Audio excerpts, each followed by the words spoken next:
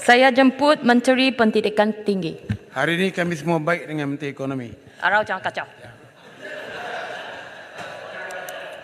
Yang berhormat Yang Dipertua Pertamanya terima kasih kepada ahli-ahli yang berhormat yang telah mengambil bahagian membangkitkan isu-isu berkaitan dengan pendidikan tinggi sepanjang sesi perbahasan belanjawan 2024 kali ini.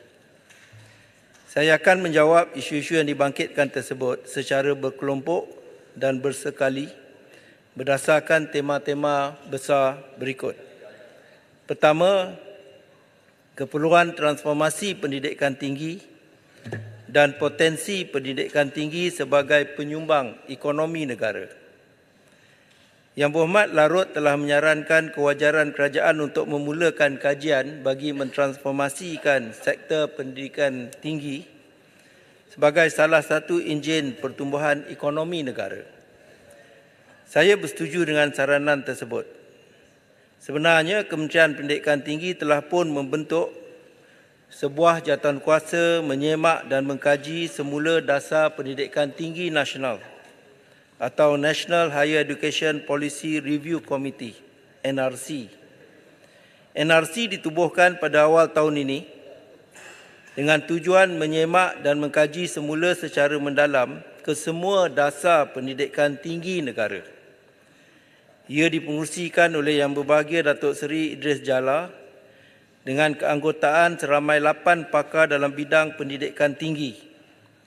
Jawatan kuasa ini turut dibantu oleh pasukan khas dari KPT, ahli-ahli akademik, unit pemandu dan pemain industri seperti Boston Consulting Group.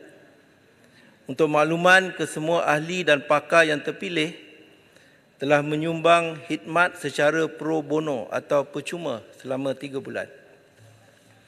Sepanjang tiga bulan yang diperuntukkan, pasukan ini telah mengadakan pelbagai sesi libat urus melibatkan kira-kira 200 peserta yang mewakili 115 organisasi. Sebanyak 874 isu telah dikenal pasti di peringkat awal walau bagaimanapun setelah diteliti dan diperhalusi sebanyak 58 cadangan penambahbaikan utama yang merentas tujuh isu utama sektor pendidikan tinggi negara telah dibentangkan kepada pihak kementerian. Dan tujuh isu utama yang harus dibetulkan tersebut adalah pertama, peraturan ketat yang mengekang perkembangan dan pertumbuhan sektor pendidikan tinggi. Kedua, proses atau birokrasi yang menyebabkan kelewatan dan ketidakcekapan. Ketiga, penyelarasan yang tidak memenuhi keperluan industri dan reka bentuk akademik. Keempat, hala tuju yang tidak jelas akibat kekurangan dasar dan peraturan yang baik. Kelima, sumber yang terhad. Keenam, mekanisme pembiayaan yang tidak memberi insentif kepada prestasi tinggi. Dan ketujuh, penguatkuasaan dan pelaksanaan yang lemah. Dan daripada 58 saranan yang dikemukakan tersebut, 30 cadangan bersifat transformatif, 7 cadangan quick wins dan 21 inisiatif pemboleh daya atau enablers. Bagi memastikan segala saranan ini difahami oleh semua pemegang taruh dan benar-benar dapat memberi impak yang disasarkan, KPT telah mengadakan hari terbuka pada 23 Oktober yang lalu dan semasa hari terbuka tersebut pandangan kritikan serta maklum balas daripada orang awam dan semua pemegang taruh berkenaan 58 cadangan penambahbaikan telah berjaya dikumpulkan dan ia akan dilaksanakan mengikut kesesuaian dan keperluan. Yang Mohd. Terima kasih Mohd Menteri uh, di atas penerangan. Uh, saya percaya ini berbangkit daripada perbahasan uh, ketua pembangkang. Jarang sekali saya bersetuju dengan ketua pembangkang tapi kali ini saya bersetuju dengan ketua pembangkang. Kerana saya uh, bersetuju bahawa kita ingin uh, menggunakan pendidikan uh, tinggi sebagai satu jentera untuk menjana ekonomi. Uh, memang adalah sesuatu yang perlu diberi perhatian. Pada masa yang sama, uh, saya ingin mengguna kesempatan ini untuk juga merayu kepada yang berhormat menteri dan juga kerajaan supaya juga memberi perhatian. Dalam kita memberi perhatian kepada menggunakan pendidikan sebagai satu uh, satu penjana ekonomi di mana kita akan menggunakannya untuk menarik pelajar-pelajar dari luar negara tiap-tiap tahun terdapat keluhan, rintihan dan aduan pelajar-pelajar di dalam negara yang mencapai pencapaian-pencapaian yang begitu baik uh, dalam uh, peperiksaan mereka SPM dan sebagainya di mana beliau mereka tidak memperolehi peluang untuk membuat matrikulasi dan sebagainya. Ini menjadi topik yang hangat. Selalu menjadi polemik. Terutamanya pelajar-pelajar India dan pelajar-pelajar Cina.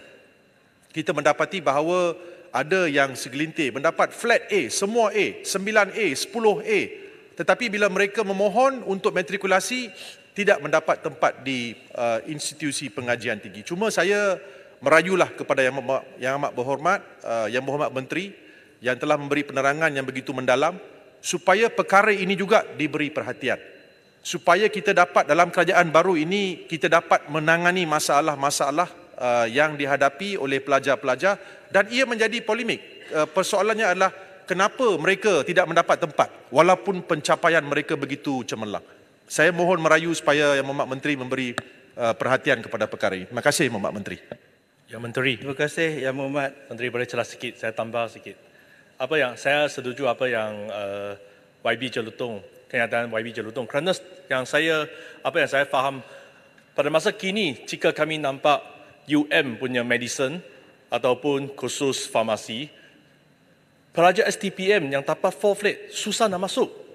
Kerana matrikulasi dapat satu priority. Mereka dapat priority boleh masuk ke kos-kos yang hangat ini di universiti utama seperti UM punya medicine, UM punya law, UM punya farmasi.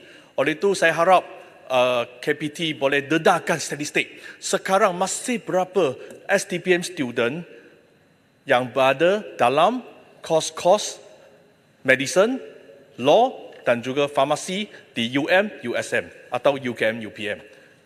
Sekian terima kasih. Terima kasih kepada Yang Berhormat Jelutong dan juga Raup uh, Yang Berhormat Puan Yang Dipertua. Jelutong uh, bercakap mengenai soal permohonan untuk masuk ke matrikulasi itu adalah di bawah bidang Kementerian Pendidikan. Manakala Raup uh, bertanyakan mengenai angka dan itu saya boleh jawab secara bertulis. Uh, selain daripada NRC, Inisiatif transformasi, transformasi pendidikan tinggi turut dilakukan dengan meneliti secara menyeluruh impak perkembangan serta inovasi terkini sains dan teknologi. Dalam hal ini, pihak kementerian sedang menyiapkan laporan penuh berkenaan New Horizons for Science and Technology in, Securing Malaysia's Global Competitiveness dengan izin daripada pasukan pakar yang dilantik. Kajian yang dikendalikan oleh pakar-pakar akademik dan wakil dari Akademi Sains Malaysia ini akan memperincikan secara mendalam kemunculan pelbagai perkembangan sains dan teknologi yang mesti menjadi tunjang tujahan baru untuk kita ajar, terokei dan menafaatkan demi Malaysia yang berdaya saing. Melalui kajian ini, kita akan lebih celik dan terpimpin untuk merencana agihan sumber manusia yang ada untuk dilatih dan diberikan pendidikan serta pendedahan yang relevan. Selain semakan dasar secara keseluruhan yang bertujuan mentransformasikan sektor pendidikan tinggi negara ini, terdapat beberapa inisiatif utama yang telah diambil oleh KPT bagi melonjak sumbangan sektor pendidikan tinggi ke dalam pembangunan ekonomi negara. Secara umumnya, sumbangan KPT kepada pembangunan ekonomi dijayakan melalui 12 agenda ekonomi madani KPT yang terdiri daripada 50 inisiatif utama. Dan sokongan dan sumbangan tersebut dijayakan melalui empat pendekatan berikut. Pertama, pembangunan bakat terbaik KPT berperanan membangun dan menyediakan bakat terbaik berdasarkan keperluan guna tenaga negara. Ini termasuklah menyelaras program pengajian sedia, ada agar selari dengan keperluan menjayakan Pelan Indok Perindustrian Baru 2030. Kedua, penyelidikan berimpak tinggi bagi menyokong ekonomi berasaskan inovasi. KPT membantu pertumbuhan ekonomi negara melalui inovasi produk dan penerokaan ilmu baru yang memanfaatkan semua khususnya pihak industri. Di bawah pendekatan ini, KPT memfokuskan kepada penyelidikan dalam bidang-bidang tujahan atau niche yang diperlukan negara. Antara kajian dan penyelidikan yang berimpak tinggi dan berupaya memberi sumbangan penting kepada ekonomi negara yang telah dan sedang dilakukan oleh sektor pendidikan tinggi adalah antaranya penyelidikan berkaitan brakiterapi kanser lidah di USM, penghasilan vaksin dan sel sengkenit di UM, dialisis mudah alih UKM, padi putra UPM, satellite nano USM, autonomous vehicle Politeknik Sultan Azlan Shah, medical electronic technology Politeknik Sultan Salahuddin Abdul Aziz Shah dan banyak lagi yang tak dapat nak disebutkan di sini.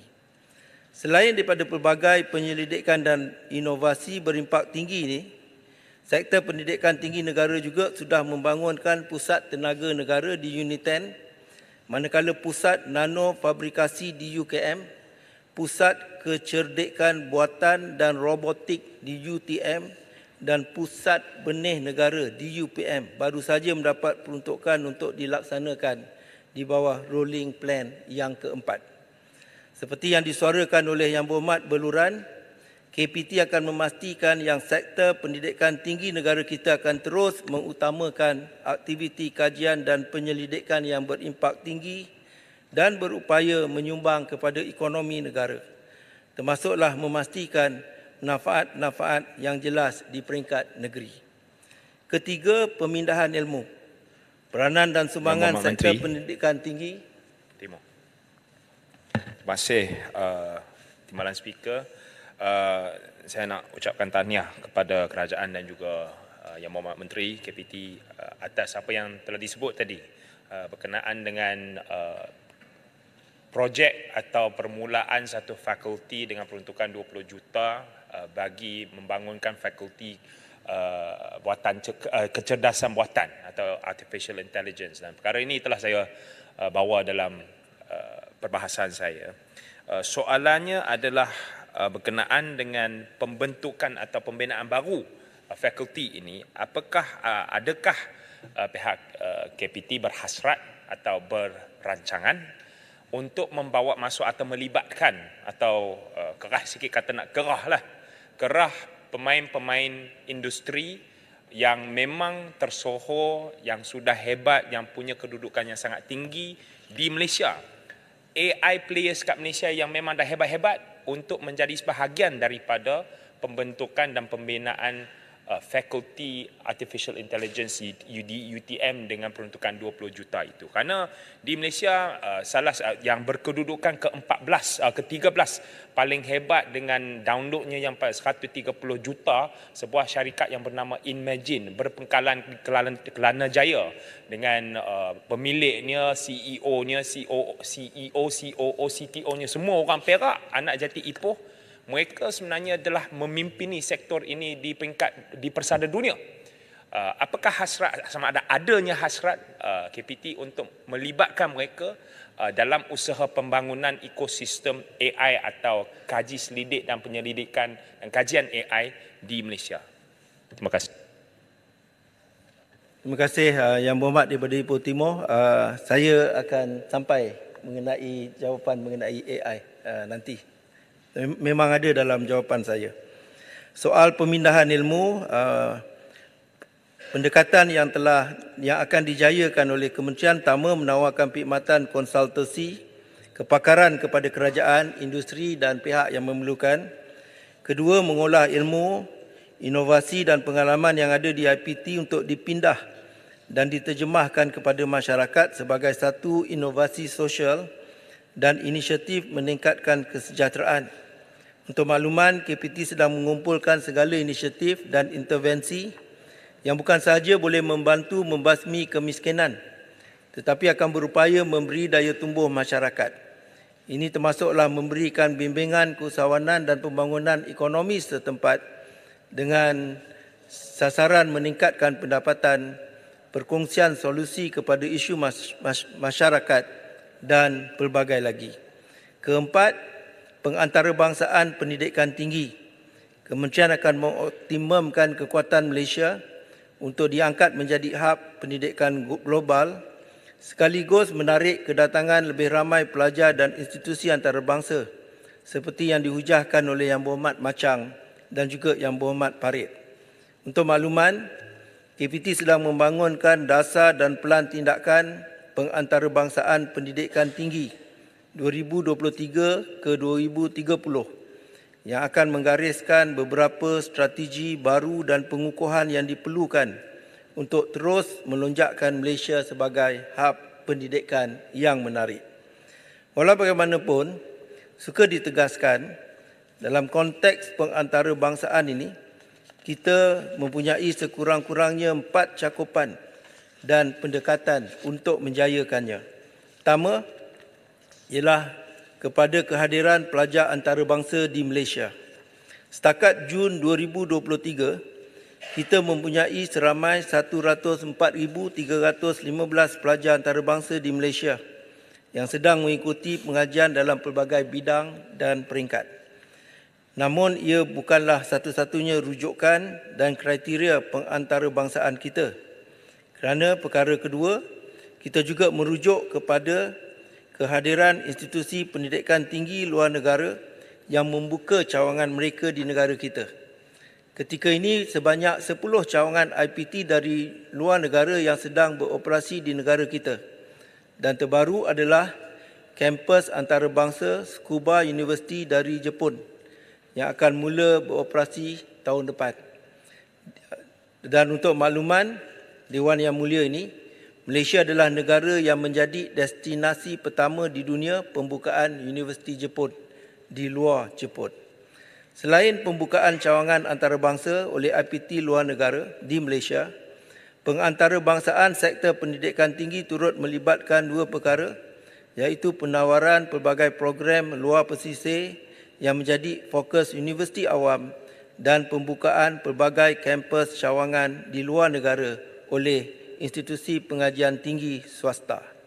Antara contoh pembukaan cawangan IPTS di luar negara adalah cawangan MSU melalui kerjasama dengan International Global University Jakarta, Management and Science Institute Colombo dan International Medical School Bangalore dan UCSI di Bangladesh.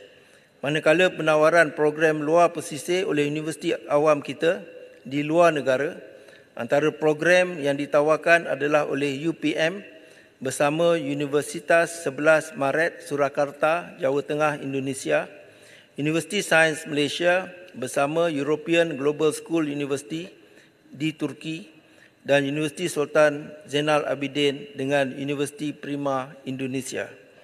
Selain daripada itu, terdapat juga program-program Dwi Siswaza dan juga dual dan double degree dengan beberapa universiti luar negara dengan universiti awam negara kita.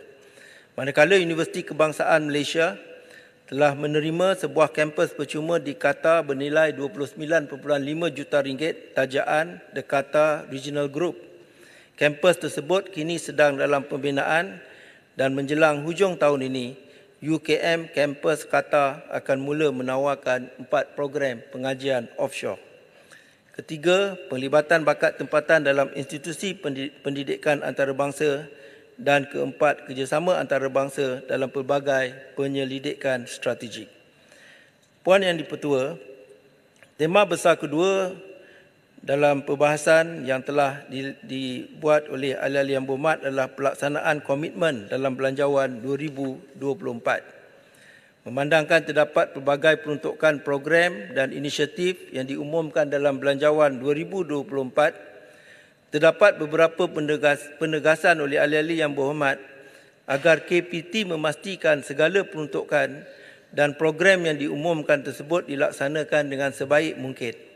Ini termasuklah Yang Berhormat Sungai Buloh yang mengharapkan agar inisiatif berkaitan PTPTN dan penetapan had yuran semasa pendaftaran benar-benar dilaksanakan. Begitu juga dengan Yang Berhormat Sungai Petani yang mengharapkan agar segala peruntukan yang diberikan maka cakupan dan kualiti kemudahan OKU di IPT menjadi lebih baik. Untuk makluman Yang Berhormat Sungai Petani, bagi peruntukan tahun 2024 kos projek sebanyak 11.24 juta ringgit dan peruntukan sebanyak 6 juta telah diluluskan bagi menyediakan infrastruktur mesra OKU. Ini merangkumi penyediaan persekitaran, pengajaran dan pembelajaran yang kondusif kepada semua kategori kurang upaya serta memberi kesaksamaan hak dan peluang kepada OKU bagi penyertaan penuh dalam PNP. Selain itu, Kementerian telah pun membelanjakan sebanyak 15 juta ringgit bagi tujuan pelaksanaan penambahbaikan infrastruktur sedia ada bagi OKU melibatkan 84 projek di Universiti Awam dan 24 projek di Politeknik dan College Community yang telah mencapai tahap kemajuan 80% siap. Di bawah peruntukan pembangunan rancangan Malaysia ke-12, kesemua projek pembangunan kampus asrama baru telah mengambil kira elemen pembangunan infrastruktur dan fasiliti OKU berdasarkan standard Malaysia Universal, Universal Design dalam sesebuah pembangunan.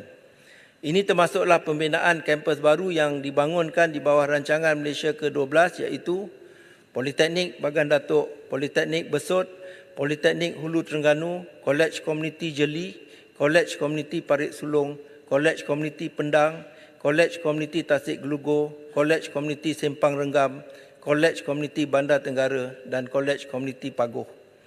Bagi projek naik taraf fasiliti usang yang diluluskan di bawah inisiatif Belanjawan 2024, Jabatan Pembangunan Politeknik dan College Community diperuntukkan sebanyak 30 juta ringgit dan kerja-kerja menaik taraf fasiliti dan laluan kumpulan rentan ini adalah termasuk di bawah skop penyelenggaraan yang diutamakan. Seterusnya, seperti yang ditanyakan oleh Yang Berhormat Ipoh Timur dan juga Yang Berhormat Seri Gading yang telah menzahirkan sentimen yang serupa dengan menyarankan penubuhan Majlis Perundingan AI atau garis panduan yang jelas dan teliti agar pusat pengajian artificial intelligence dan penyertaan kita dalam teknologi ini benar-benar memberi manfaat.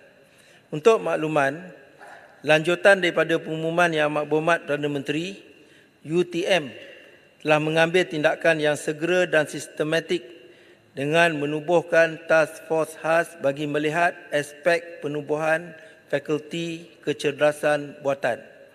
Task force ini bertanggungjawab untuk merancang dan memperincikan pembangunan struktur governance, bidang tujahan, hala tuju, keperluan bakat, fasiliti, program akademik dan penyelidikan yang berimpak.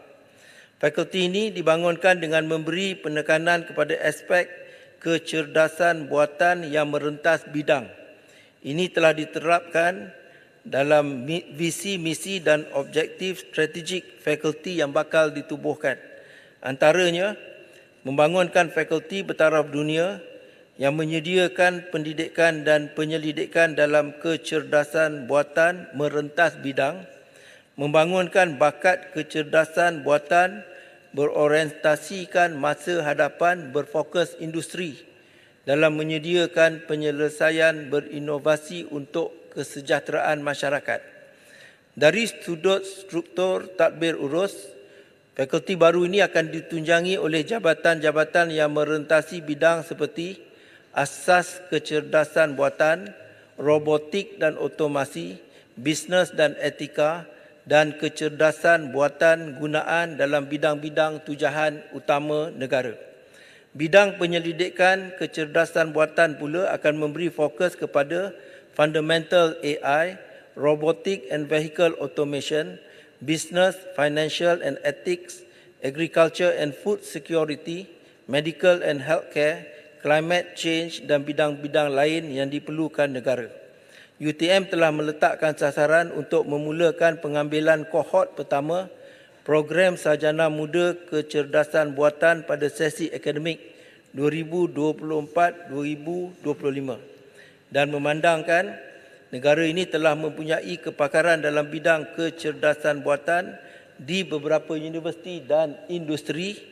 UTM melalui fakulti ini akan menubuhkan konsortium pakar kecerdasan buatan atau Artificial Intelligence Expert Consortium dengan izin bagi mengembeling dan menggabungkan kepakaran dalam memenuhi keperluan kecerdasan buatan dalam negara mengambil kira juga pandangan yang telah dinyatakan oleh Yang Berhormat Ipoh Timur. Yang Berhormat Indra Mahkota sikit je. Uh, saya ucap syabas uh, beberapa kali Yang Berhormat sebut tentang etika dua kali.